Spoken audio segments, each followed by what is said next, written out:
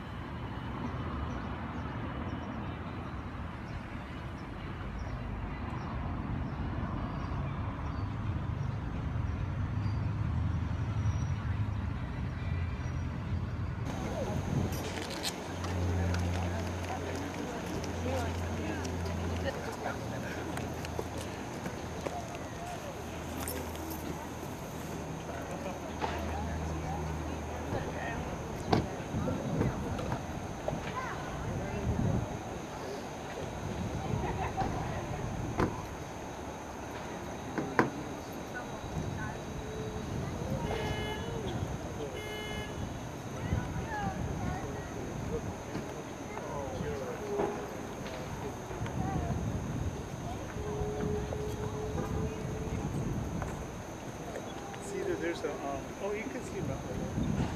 Yeah,